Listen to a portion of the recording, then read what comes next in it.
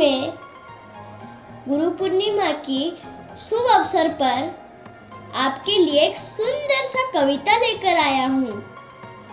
गुरु ब्रह्मा, गुरु विष्णु गुरुदेव महेश्वरा, गुरु साक्षात् परं ब्रह्मा। तस्मै श्री गुरुवे नमः। गुरु के बिना ज्ञान नहीं, ज्ञान के बिना कोई महान नहीं। भटक जाता है जब इंसान, तब गुरु ही देते हैं ज्ञान। ईश्वर के बाद अगर कोई है तो वह गुरु है।